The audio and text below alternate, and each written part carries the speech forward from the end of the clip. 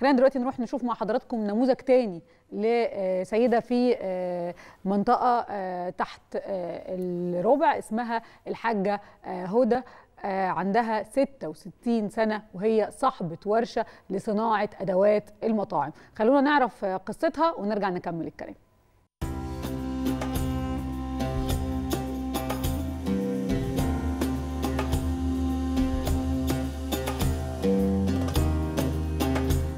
شغال مع الحاجة فوق ال 12 13 سنة. بص غلاوتها من غلاوة أمي. مش معاملاني اللي أنا صنايعي. أنا صاحب المكان ولا الدنيا كلها عندها. غلاوتها من غلاوة أمي.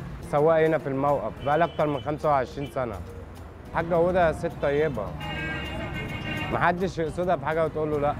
أنا اسمي نورة. بنتي الحاجة هدى.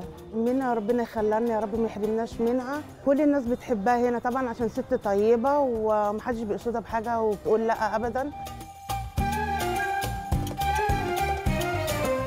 أنا اسمي الحاجة هدى.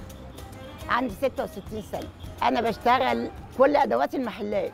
شوايات الفراخ والشاورمات وحجرة الطعمية و... وشوايات السمك وجاء الكباب.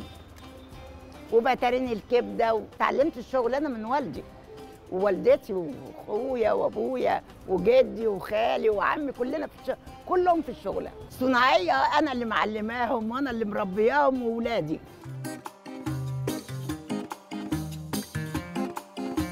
أنا منطقتي تحت الربع وبحب المنطقة دي. مش غريبة وجاية. أنا أساسا مولودة هنا. في طبعا لازم يحبوني. ما فيش إلا تعامل حلو معاهم كلهم. أنا بنزل الشغل يعني أنا بقوم حوالي الساعة 8 ونص الصبح. بقوم اشطف وأصلي صلاة الضحى وأصلي الدور وبنزل. ممكن أروح 10 ممكن أروح 9 على تبع الظروف المحل هنا. في زباين اديني بقعد ما فيش زباين بمشي. عندي ست غضاريف في ضهري فهم مقصرين معايا. تعبانة آه. بس يعني دي حاجة بقت في دمي. ما أقدرش اللي أنا أسيب الشغل وما أقدرش اللي أنا أقعد. وربنا يكفينا شر القعاد قبل كل شيء. ربنا يجعلنا شغالين كده طول عمرنا.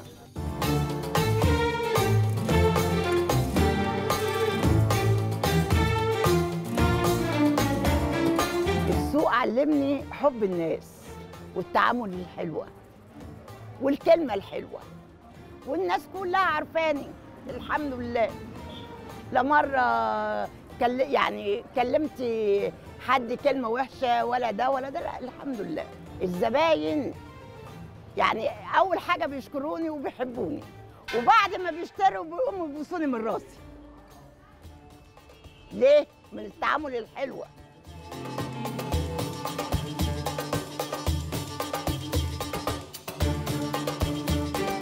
كان معايا ثلاث بنات عاوزين مصاريف ومدارس وده وده وده فاضطريت إن أنا أنزل.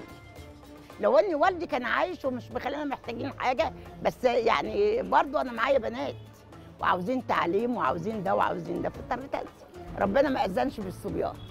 هم ثلاث بنات. بس جوازاتهم يعتبروا ولادي. طبعا صابره طول عمري الحمد لله. ولو مش صابره ما أنا ما كنتش اشتغلت خالص لكن اشتغلت والحمد لله وربنا وقف جنبي.